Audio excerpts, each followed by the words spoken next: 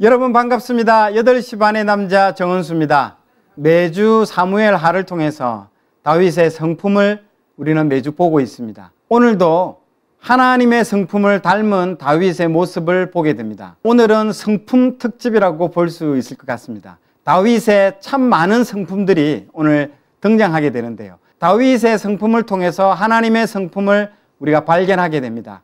그래서 오늘 배우게 될 그 다윗의 성품들이 곧 하나님의 성품이고 그 하나님의 성품이 곧 나의 성품이 될 수 있도록 오늘 배운 말씀들을 여러분들께서 내가 믿음으로 취하고 또 선포하면 그 성품이 나의 성품이 될 줄로 믿고 선포합니다. 자, 오늘은 사무엘 하 8장, 9장, 10장의 내용입니다. 다윗 왕의 통치와 승승장구, 하나님께서 다윗 왕을 높여주시고 그리고 승승장구한다는 그 내용입니다. 자, 오늘 읽을 8장에서 10장의 그 시기는 다윗의 언약 직후의 내용입니다. 지난 시간에 우리는 성전 건축을 요청드린 다윗과 그것을 거절하고 다윗 언약을 약속해 주신 하나님을 우리는 살펴봤습니다. 다윗이 누굽니까? 하나님이 성전 건축을 거절했지만은 결코 실망하지 않고 자기 아들 때에 성전 건축을 지을 수 있도록 준비를 이제 결심하게 됩니다. 그래서 내용이 주변 나라들을 정복하는 내용들이 이번 시간에 다 나오게 됩니다. 여러분 느헤미야에서 보면 성벽을 재건하는 목적이 주변 나라들의 침략을 막는 것처럼 성전 건축은 정말 대공사입니다. 이것을 하기 위해서는 일단 나라가 안정되어야 됩니다. 전쟁이 없는 평화로운 시대여야만이 이것이 가능한 거죠. 그래서 다윗은 주변 나라들을 정복하고 조공을 바치게 하는 내용들이 오늘 나오게 됩니다. 자, 오늘의 내용도 나를 존중히 여기는 자를 내가 존중히 여기고 나를 멸시하는 자를 내가 경멸하리라. 이 사무엘서를 여는 열세구절 사무엘상 2장 30절 말씀이 계속 유효하게 어, 적용될 수 있습니다. 8장, 9장, 10장의 내용들을 우리가 한눈에 먼저 살펴볼 필요가 있습니다. 그 중에서 우리가 눈여겨볼 부분들이 이 하나님의 성품입니다. 오늘 우리가 보게 될 이 하나님의 성품은 두 가지는 공의의 하나님이면서 동시에 사랑의 하나님, 이 두 가지 성품에 대해서 좀 집중적으로 살펴보도록 하겠습니다. 그래서 8장의 내용들은 공의의 하나님, 그리고 9장, 10장의 내용들은 사랑의 하나님이 나오게 되는 것이죠. 자, 8장 15절에 그 핵심적인 내용들이 나오는데요. 다윗이 온 이스라엘을 다스려 다윗이 모든 백성에게 정의와 공의를 행할세. 이 정의와 공의가 곧 공의의 하나님을 나타내 주는 표현인 것이죠. 그리고 사랑의 하나님은 9장 10장에서 볼 수 있는데요.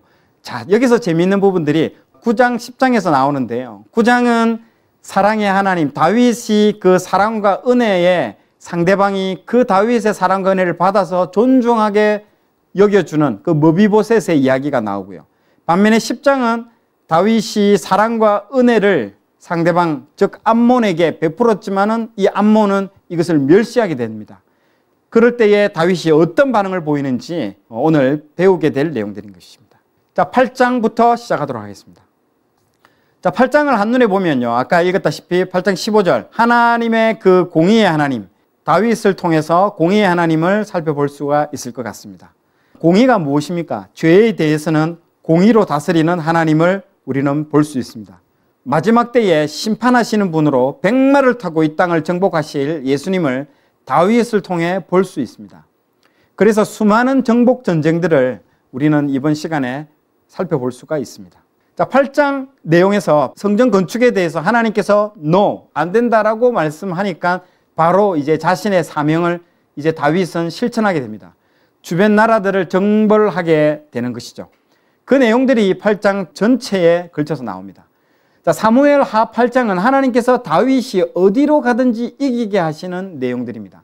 즉 다윗의 승리, 블레셋과 모압과 소바와 아람과 에돔을 정복하는 그런 이야기들입니다. 즉 이 말은 성전 건축을 하기 위한 주변 여건들을 다 조성하는 그런 내용들이기도 하죠. 자, 먼저 첫 번째 메덱 암마 이 말이 어렵게 나오지만은 가드라는 곳입니다. 이 블레셋에서 가드, 이 골리앗의 고향이죠. 다윗이 블레셋을 쳐서 항복시키고 블레셋 사람들의 손에서 메덱 암마를 빼앗은 이야기인데요. 메덱 암마는 가드입니다.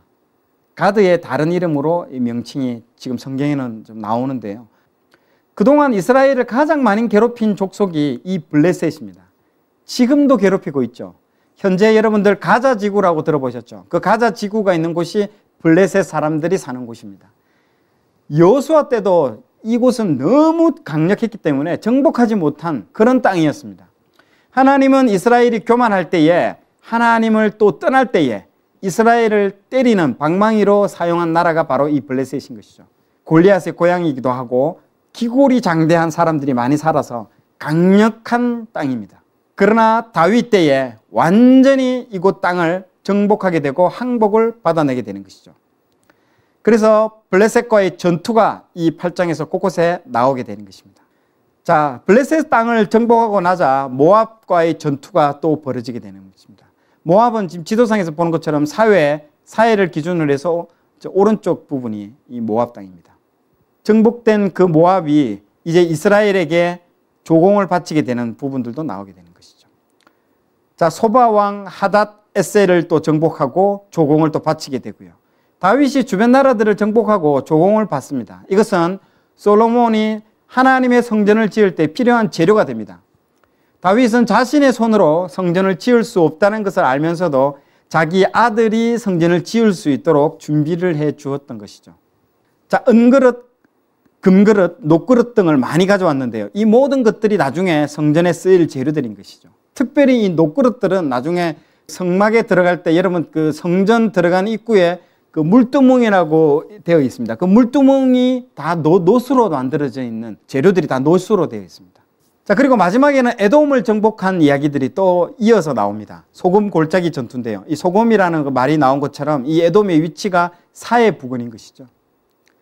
자, 사무엘 하 8장 부분들을 우리가 한번 먼저 읽어보도록 하겠습니다. 8장 그 후에 다윗이 블레셋 사람들을 쳐서 항복을 받고 블레셋 사람들의 손에서 메대간마를 빼앗으니라. 다윗이 또 모압을 쳐서 그들로 땅에 엎드리게 하고 줄로 재어 그 두 줄 길이의 사람은 죽이고 한 줄 길이의 사람은 살리니 모압 사람들이 다윗의 종들이 되어 조공을 드리니라. 르오베 아들 소바왕 하닷 에셀이 자기 권세를 회복하려고 유브라데 강으로 갈 때에 다윗이 그를 쳐서 그에게서 마병 1700명과 보병 2만 명을 사로잡고 병거 100대의 말만 남기고 다윗이 그 외의 병거의 말은 다 발에 힘줄을 끊었더니 다메섹의 아람 사람들이 소바왕 하다데스를 도우러 온지라. 다윗이 아람 사람 2만 2천 명을 죽이고 다윗이 다메섹 아람의 수비대를 두매 아람 사람이 다윗의 종이 되어 조공을 바치니라. 다윗이 어디로 가든지 여호와께서 이기게 하시니라. 다윗이 하다레셀의 신복들이 가진 금 방패를 빼앗아 예루살렘으로 가져오고 또 다윗 왕이 하다레셀의 고을 베다와 베로데에서 매우 많은 노을 빼앗으니라. 하마당 도이가 다윗이 하다데셀의 온 군대를 쳐서 무찔렀다 함을 듣고 도이가 그의 아들 요람을 보내 다윗 왕에게 문안하고 축복하게 하니 이는 하다데셀이 도이와 더불어 전쟁에 있던 터에 다윗이 하다데셀을 쳐서 무찌름이라. 요람이 은 그릇과 금 그릇과 녹 그릇을 가지고 온지라. 다윗왕이 그것도 여호와께 드리되 그가 정복한 모든 나라에서 얻은 은금 곧 아람과 모압과 암몬 자손과 블레셋 사람과 아말렉에게서 얻은 것들과 소바왕 루오베 아들 하닷 에셀에게서 노력한 것과 같이 드리니라. 다윗이 소금 골짜기에서 에돔 사람 만 팔천 명을 쳐 죽이고 돌아와서 명성을 떨치니라. 다윗이 에돔의 수비대를 두되 온 에돔의 수비대를 두니 에돔 사람이 다 다윗의 종이 되니라. 다윗이 어디로 가든지 여호와께서 이기게 하셨더라. 다윗이 온 이스라엘을 다스려 다윗이 모든 백성에게 정의와 공의를 행할세 스루야의 아들 요압은 군 사령관이 되고 아일루스의 아들 여호사밧은 사관이 되고 아이두베 아들 사독과 아비아달의 아들 아히멜렉은 제사장이 되고 스라야는 서기관이 되고 여호야다의 아들 분하야는 그렛 사람과 블렛 사람을 관할하고 다윗의 아들들은 대신들이 되니라. 사무엘하 8장 6절과 14절 내용을 한번 보시기 바랍니다. 이 반복된 구절이 나옵니다. 6절과 14절에 반복된 구절 다윗이 어디를 가든지 여호와께서 이기게 하시니라. 즉 자기의 힘과 노력, 전략으로 이 전쟁에서 승리를 했다라는 것이 아니라는 것이죠. 하나님이 함께 하셨기 때문에 이 전쟁에서 이기게 하셨다라는 내용들이 반복적으로 반복 패턴을 통해서 계속 나타나고 있습니다. 우리는 정말 되는 인생을 살려고 합니다. 뭔가 우리 힘으로, 우리 노력으로 내가 되려고 하는 그 되는 인생을 살려고 하지만은 정말 중요한 것은 하나님에 의해서 되어지는 인생이 정말 중요한 것입니다. 그래서 다윗의 이 모습을 통해서 반드시 되는 인생이 아니라 되어지는 인생을 살 줄로 믿고 선포합니다. 자, 그리고 4절에 보시면 마병 1700명과 보병 2만 명을 포로로 잡고 병거 100대를 남기고 나머지 말은 모두 발목에 힘줄을 끊어버렸다라는 내용들이 나옵니다. 이 말은 신명기에서 언급한 왕의 규례에서 한 번 더 언급된 내용들입니다. 여러분 왕의 규례에 대해서 신명기 17장 16절에 보면요. 그는 병마를 많이 두지 말 것이요 라고 이렇게 왕이 왕의 규례에 대해서 하나님께서 미리 언급을 다 해 두었습니다. 그래서 다윗과 솔로몬을 비교해서 한번 보여드리겠습니다. 다윗은 방금 읽었던 8장 4절, 사무엘하 8장 4절에서 그에게서 마병 1700명과 보병 2만 명을 사로잡고 병거 100대의 말만 남기고 다윗이 그 외의 병거의 말은 다 발에 힘줄을 끊었더니 라고 이렇게 정확하게 그 말씀에 순종을 했습니다. 다윗은. 그런데 이 솔로몬은 열왕기상 10장 26절 솔로몬이 병거와 마병을 모음에 병거가 1400대요 마병이 12,000명이라 정반대의 지금 행동을 하고 있죠. 분명히 하나님께서 신명기에 이렇게 말씀을 마병을 많이 두지 말라고 했는데 솔로몬은 이렇게 많이 또 두고 있는 모습들을 보게 됩니다. 그 결과에 대해서 나중에 다 우리는 알 수가 있겠죠. 예, 어떻게 됐는지. 자, 그런 것처럼 이 하나님의 말씀에 나오는 부분들을 비교해서 이렇게 우리는 볼 수가 있습니다. 자, 민수기에 나오는 여러분 발람의 예언을 혹시 기억하십니까? 민수기에 발락이 그 모압 왕 발락이 발람을 데려옵니다. 이 발람이 누굽니까? 당시 가장 핫한 주술가입니다. 저주를 퍼붓게 되면 그 저주가 그대로 이루어지는 가장 영험한 주술가를 이 발락이 탁 데려옵니다.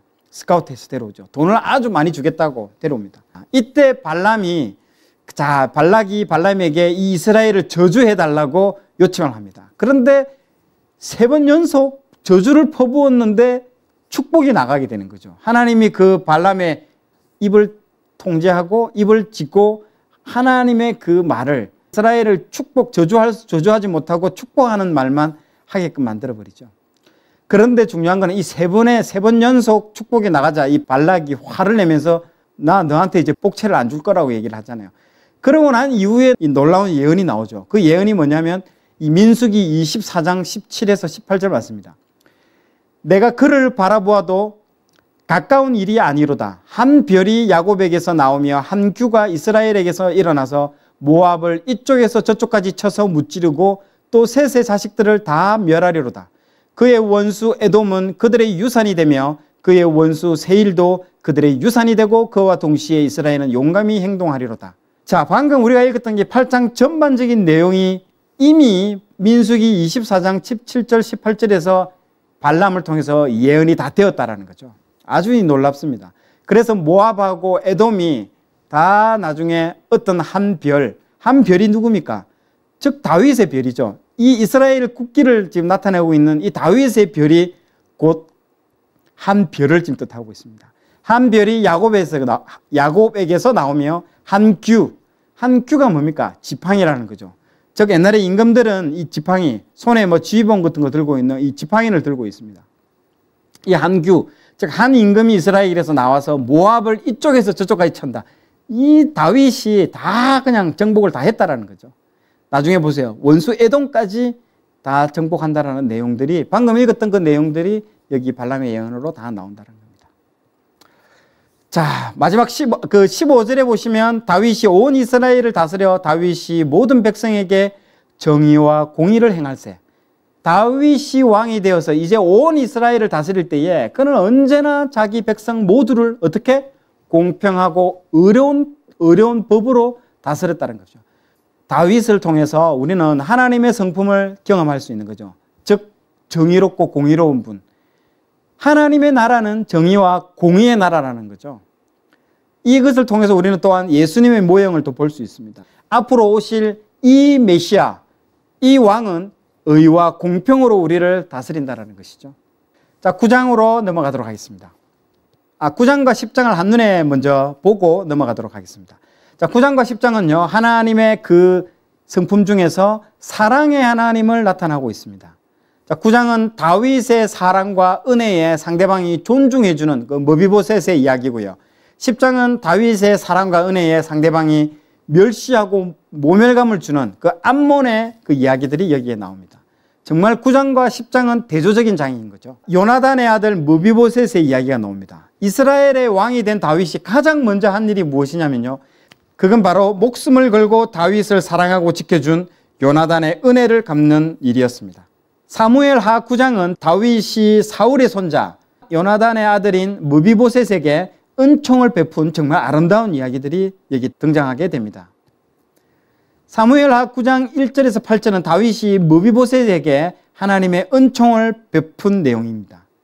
왜 은혜를 베풀까요?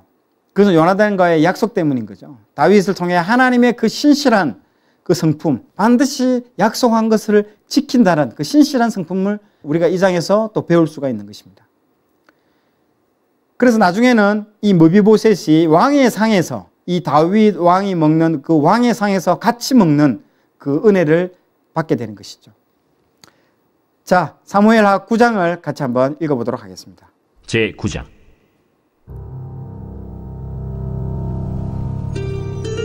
다윗이 이르되 사울의 집에 아직도 남은 사람이 있느냐? 내가 요나단으로 말미암아 그 사람에게 은총을 베풀리라. 사울의 집에는 종 한 사람이 있으니 그의 이름은 시바라 그를 다윗의 앞으로 부르매 왕이 그에게 말하되 내가 시바냐? 당신의 종인이다. 사울의 집에 아직도 남은 사람이 없느냐? 내가 그 사람에게 하나님의 은총을 베풀고자 하노라. 요나단의 아들 하나가 있는데 다리 저는 자니이다. 그가 어디 있느냐? 로드발 암미엘의 아들 마길의 집에 있나이다. 하니라 다윗 왕이 사람을 보내어 로드발 암미엘의 아들 마길의 집에서 그를 데려오니 사울의 손자 요나단의 아들 므비보셋이 다윗에게 나와 그 앞에 엎드려 절하매 다윗이 이르되 무비보셋이여, 보소서, 당신의 종인이다. 무서워하지 말라. 내가 반드시 내 아버지 요나단으로 말미암아 내게 은총을 베풀리라. 내가 내 할아버지 사울의 모든 밭을 다 내게 도로 주겠고 또 너는 항상 내 상에서 떡을 먹을지니라. 그가 절하여 이르되 이 종이 무엇이기에 왕께서 죽은 개 같은 나를 돌아보시나이까? 왕이 사울의 시종 시바를 불러 그에게 이르되 사울과 그의 온 집에 속한 것은 내가 다 내 주인의 아들에게 주었노니 너와 내 아들들과 내 종들은 그를 위하여 땅을 갈고 거두어 내 주인의 아들에게 양식을 대주어 먹게 하라. 그러나 내 주인의 아들 무비보셋은 항상 내 상에서 떡을 먹으리라. 시바는 아들이 열다섯 명이요 종이 스무 명이라 시바가 왕께 아뢰되 내 주 왕께서 모든 일을 종에게 명령하신 대로 종이 준행하겠나이다. 무비보셋은 왕자 중 하나처럼 왕의 상에서 먹으니라 무비보셋에게 어린 아들 하나가 있으니 이름은 미가더라 시바의 집에 사는 자마다 무비보셋의 종이 되니라 무비보셋이 항상 왕의 상에서 먹으므로 예루살렘에 사니라 그는 두 발을 다 절더라 아멘. 예, 방금 우리는 사무엘 하 9장을 다 읽었습니다. 여러분 사무엘 하 9장 7절을 한번 펴 보시겠습니까? 다윗이 그에게 이르되 무서워하지 말라라는 내용이 첫 구절로 딱 등장합니다. 여러분 어, 이 당시의 그 정적들은요, 음, 바로 찾으면 바로 주, 죽여버립니다. 틀림없이 요나단의 아들 무비보셋도 이 다윗이 찾는다고 할 때에 굉장히 무서워서 떨었을 것입니다. 그래서 다윗 앞에서 무릎을 꿇고 벌벌벌벌벌 아마 떨었을 것입니다. 그 모습을 보고 다윗이 이런 말들을 하게 되는 것이죠. 그걸 통해서 정말 은혜의 하나님을 경험하게 되는 것이죠. 다윗의 그 정적들을 죽이지 않고 하나씩 하나씩 용서하고 오히려 은혜를 베푸는 이 모습들을 통해서 하나님의 성품을 우리는 또 볼 수 있는 것이죠. 자, 머비보셋이 누군지 아는 사람은 이 광경에 정말 입을 다물지 못할 것입니다. 머비보셋은 왜 이 두 다리를 다 절게 되었을까요? 그는 도대체 누구이기에 그 왕자들과 공주들만 앉아 있는 그 다윗 왕의 식탁에 앉아 있는 것입니까? 이 머비보셋의 이야기에 대한 그 정확한 스토리는 이 사무엘 상 사무엘 하 4장 4절에 이미 스토리가 나와 있습니다. 사울의 아들 요나단에게 다리 저는 아들 하나가 있었으니 이름은 머비보셋이라. 전에 사울과 요나단의 죽은 소식이 이스라엘에서 올 때에 그의 나이 다섯 살이었는데 그 유모가 안고 도망할 때에 급히 도망하다가 아이가 떨어져 절개되었더라. 이렇게 이미 사무엘 하 4장 4절에 미리 그 이 사람이 다리를 절게 된 이유가 behind story가 다 나옵니다. 이 다윗을 통해서 사랑과 은혜의 그 하나님을 우리가 경험하게 되는 것이죠. 자, 이, 다, 이 므비보셋을 우리가 은혜를 베풀어 주는 이유는요, 다윗이 요나단과 사무엘 상에서 한 약속 때문에 그런 것입니다. 요나단이 사무엘상 20절 20장 42절에 보면요. 요나단이 다윗에게 이르되 평안히 가라. 우리 두 사람이 여호와의 이름으로 맹세하여 이르기를 여호와께서 영원히 너와 나 사이에 계시고 내 자손과 내 자손 사이에 계시리라 하였느니라. 다윗이 일어나 떠나고 요나단은 성으로 돌아오니라. 이 언약을 다윗이 요나단과 언약을 맺었기 때문에 이 약속을 지키는 다윗의 그 신실함을 이번 장에 볼 수 있는 것이죠. 즉 다윗의 그 신실한 이 성품들은 하나님의 그 신실한 성품을 통해서 우리는 알 수 있다라는 것이죠. 자, 다음은 10장입니다. 자, 10장은 아까 얘기한 것처럼 다윗의 그 방금 읽었던 9장은 머비보셋이 그 다윗의 사랑과 은혜에 정말 존중해주고 그 같은 상에서 먹고 마시는 그 은혜를 다 누렸다라는 것이죠. 그 존중, 존중을 받았다라는 것이죠. 그러나 이 다윗의 그 사랑과 은혜에 상대방이 멸시하고 모멸했을 때에 하나님이 그 경멸하듯이 그 오늘 읽었던 그 열세 구절에서 본 것 같이 하나님을 멸시한 자에게 하나님이 경멸하듯이 다윗도 이 암몬 족속들이 자신들의 그 호의에 멸시를 할 때에 어떤 반응, 어떻게 경멸하는지를 보여주는 게 이 10장의 내용들인 것입니다. 암몬의 왕이 바뀌게 되었습니다. 그 암몬의 기존 왕이 죽고 어, 그 아들이 새롭게 왕이 되었습니다. 그래서 그 죽은 그 왕에 대해서 다윗이 그 죽은 그 아버지, 그 죽은 암몬 왕을 어, 위해서 조문객을 보냅니다. 이것은 어떻게 보면 다윗이 이 나라를 정복할 수 있지만은 어, 호의를 베풀어 준 겁니다. 정복을 할 수 있지만은 먼저 호의를 베풀어 주는 것입니다. 그런데 이 호의에 대해서 이 신하들이 어떻게 반응했냐면 이 사람들이 오는 것들이 이 조문객이 오는 목적이 우리들을 정탐하러 오는 것이고 이 정탐을 통해서 우리를 멸망시키기 위해서 오는 것이라고 이 신하들이 이 새로운 새 암몬 왕에게 보고를 합니다. 그런데 이 새 암몬 왕이 이것을 듣고 아, 그 말이 옳다라고 생각하고 이 조문객을 멸시천대를 합니다. 이 사람들의 수염을 이렇게 절반 깎아버립니다. 그리고 이 지금 그림, 그림에서 본 것 같이 의복을 잘라가지고 사람을 망신을 시켜서 돌려보냅니다. 다윗이 어, 반응이 어땠을까요? 다윗이 이것을 보고 이제 참지는 못하는 거죠. 그래서 다윗이 직접 나서서 아람과 전쟁을 한다는 그 내용이 이 장에서 나옵니다. 그래서 첫 번째는 어, 라, 바에서 라바에서 전투를 벌리고요. 그래서 라바에서 전쟁을 승리를 하고 다시 예루살렘으로 돌아와 다시 아람 지역인 저 하, 헤람이라는 곳에서 다시 또 제2차 전투가 벌어지는 그 내용들이 이번 장에서 나타납니다. 다윗이 크게 분노했다는 걸 알아차리게 되자 혼자 힘으로는 얘들이 감당이 안 되니까 용병을 이제 고용을 합니다. 그래서 다른 나라에서 용병을 데리고 오는 것이죠. 그래서 데려온 용병을 암몬 자손이 나와서 이제 성문 어기에 딱 진을 치게 됩니다. 그리고 용병으로 사왔던 또 별도의 부대들은 들에서 이렇게 매복을 딱 시키는 거죠. 그러나 이 싸움이 될, 될까요? 하나님이 함께 하시는데 싸움이 안 되죠. 그러나 다윗의 그 군대에게 완전히 대패를 당합니다. 용병이고 뭐고 이건 소용없습니다. 다윗한테 걸리면 그냥 다 죽습니다. 자, 그 내용이 이 10장 내용입니다. 재밌겠죠? 한번 읽어보도록 하겠습니다. 10장 그 후에 암몬 자손의 왕이 죽고 그의 아들 한온이 대신하여 왕이 되니 다윗이 이르되 내가 나아스의 아들 한온에게 은총을 베풀되 그의 아버지가 내게 은총을 베푼 것 같이 하리라 하고 다윗이 그의 신하들을 보내 그의 아버지를 조상하라 하니라. 다윗의 신하들이 암몬 자손의 땅에 이름에 암몬 자손의 관리들이 그들의 주 한온에게 말하되 왕은 다윗이 조객을 당신에게 보낸 것이 왕의 아버지를 공경함인 줄로 여기시나이까. 다윗이 그의 신하들을 당신에게 보내 이 성을 엿보고 탐지하여 함락시키고자 함이 아니니까니 이에 한온이 다윗의 신하들을 잡아 그들의 수염 절반을 깎고 그들의 의복의 중동 볼기까지 자르고 돌려보내매 사람들이 이 일을 다윗에게 알리니라. 그 사람들이 크게 부끄러워하므로 왕이 그들을 맞으러 보내 이르기를 너희는 수염이 자라기까지 여리고에서 머물다가 돌아오라 하니라. 암몬 자손들이 자기들이 다윗에게 미움이 된 줄 알고 암몬 자손들이 사람을 보내 벳루옵 아람 사람과 소바 아람 사람의 보병 2만 명과 마가 왕과 그의 사람 1000명과 돕 사람 만 2천 명을 고용한지라. 다윗이 듣고 요압과 용사의 온 무리를 보내매 암몬 자손은 나와서 성문 어기에 진을 쳤고 소바와 르홉 아람 사람과 돕과 마가 사람들은 따로 들에 있더라.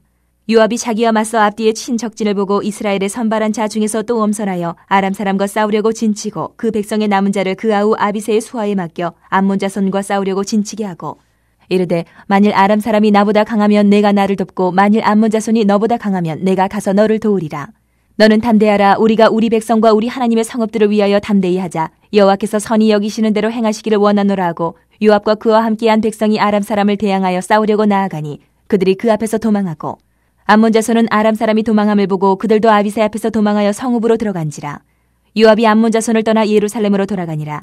아람 사람이 자기가 이스라엘 앞에서 패하였음을 보고 다 모임에 하다레셀이 사람을 보내 강 건너 쪽에 있는 아람 사람을 불러내매 그들이 헬람에 이르니 하다레셀의 군사령관 소박이 그들을 거느린지라.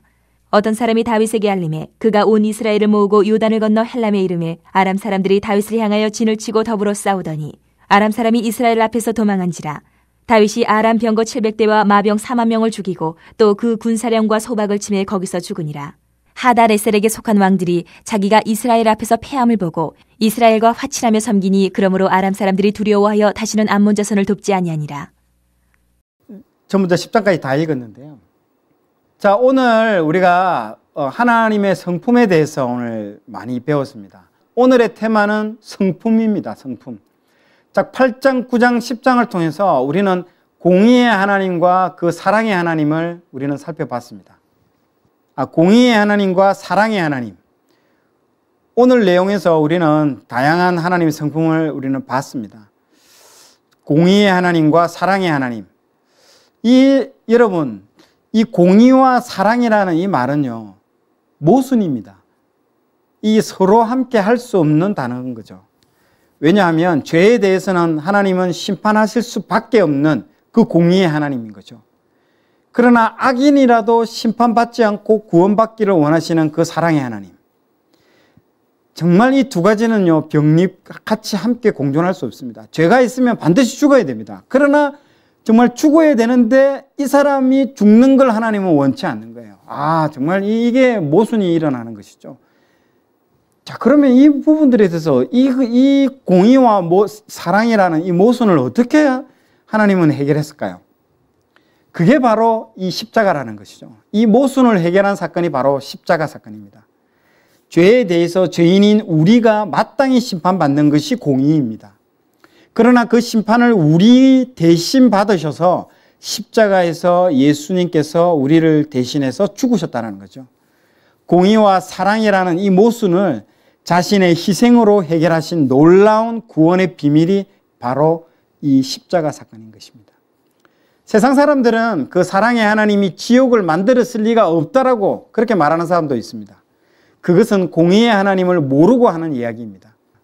죄에 대해서는 반드시 심판하셔야 하는 분이 하나님입니다. 그러나 하나님은 예수님을 통해서 십자가를 통해 구원의 길을, 즉, 우리가 살 길을 열어주셨다는 거죠. 이것을 믿기만 하면 우리는 심판받지 않고 멸망받지 않고 구원을 얻게 된다는 것이 그것이 바로 복음인 것입니다. 자, 공의와 사랑의 성품. 사랑 없이 공의의 하나님만 주장하게 되면요. 정말 그 사람은 무섭고 잔인한 사람이 될 수밖에 없습니다.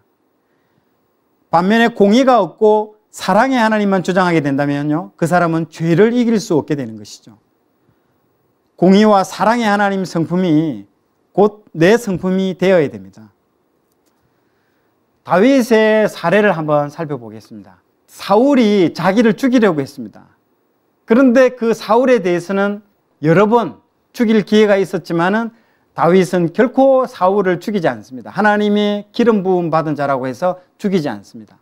그런데 나중에 사무엘 하 초반에 보면 아말렉 사람이 사울을 죽였다라는 그 보고를 들을 보고를 들을 때에 다윗은 한치의 그 망설임도 없이 또 용서 없이 바로 그 사람을 죽여버립니다. 조금 이해가 안 가시죠? 자신을 죽이려고 했던 사울에 대해서는 용서했는데 자신의 원수인 사울을 죽였던 그 아말렉의 아말렉 사람에 대해서는 바로 용서 없이 바로 죽여버립니다. 어떻게 보면 참 이해할 수 없는 부분인데요. 이게 하나님의 성품이라는 거죠. 이 사랑과 공의에 대한 부분들이 잘 드러납니다. 자, 다윗의 이 사례가 정말 나의 성품하고는 얼마만큼 비슷한지 한번 보십시오. 우리의 경우는 우리를 죽이려고 하는 사람은 반드시 우리는 복수해야 되죠. 죽여야 됩니다. 그런 성품을 우리는 가지고 있습니다. 그리고 우리의 원수를 죽인 사람에 대해서는 왠지 고맙고 내 대신 복수를 해줘서 고맙고 그래서 왠지 그 사람이 정이 가고 그러지 않습니까? 나를 좀 시원케 해준 사람이라고 정이 안 가, 정이 가고 그러지 않습니까? 그런 것처럼 우리는 정말 하나님의 성품과 다르다라는 거죠. 우리가 이것을 통해서 다윗의 성품이 나의 성품, 얼마만큼 나의 성품이 하나님의 성품과 다르다라는 것들을 이, 이 다윗의 사건을 통해서 우리는 볼 수 있습니다. 하나님이 사랑하는 사람을 나도 사랑하고 하나님이 미워하는 사람을 나도 미워하는 그런 성품을 여러분들 가지시기를 바랍니다. 자, 나누어 보세요. 공의의 하나님과 사랑의 하나님의 성품이 다윗의 어느 부분에서 나타났습니까? 그리고 공의의 하나님과 사랑의 하나님 중에서 자신에게 부족한 성품을 나누고 십자가의 예수님을 찬양해 보십시오. 두 번째, 다윗이 어디로 가든지 여호와께서 이기게 하신 이유는 무엇일까요? 당신의 삶에서 이러한 경험이 있다면 한번 나누어 보십시오. 네, 오늘도 다윗의 이야기를 살펴보았습니다. 그 오늘은 다윗의 성품들을 통해서 하나님의 성품들을 우리가 엿볼 수 있는 부분들이 상당히 많았고요. 그리고 또 예수님의 어떤 모형적인 부분들도 상당히 많이 나왔습니다. 어, 다시 오실 그 예수님께서 다시 오실 때는 백마를 타고 이 땅을 정복하고 모든 원수들을 정복한다라는 그 내용들이 어, 오늘 이 다윗의 그 주변 국가들을 정복하는 사례들을 통해서 엿볼 수 있고요. 그리고 사랑의 하나님과 공의의 하나님, 그 모순되는 것들을 극복했던 그 십자가를 통해서 예수님의 또한 성품들을 우리는 볼 수 있습니다.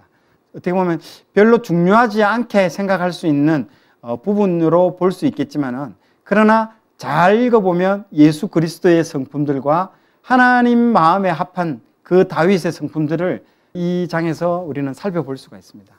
자, 오늘 배우신 이 놀라운 하나님의 성품들을 여러분들께서 직접 하나님께 찬양하면서 이 하나님의 성품을 찬양하면 여러분의 성품으로 될 줄로 믿고 선포합니다. 오늘도 시청해 주신 여러분 감사합니다. 다음 주 이 시간에 또 뵙겠습니다.